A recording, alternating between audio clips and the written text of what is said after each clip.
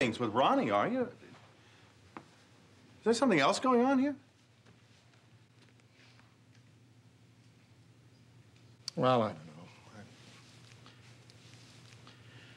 Ronnie and I have been getting kind of close this week, and last night we started fooling around, and it was great.